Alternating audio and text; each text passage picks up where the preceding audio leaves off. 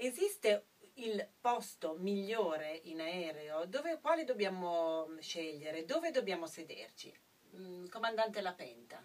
Sì, il posto migliore dipende dalle esigenze personali. Se uno ha paura di volare deve pensarci prima, quindi vuol dire scegliere un posto confortevole e questo può fare sia online sia al momento del check-in se non l'ha fatto prima.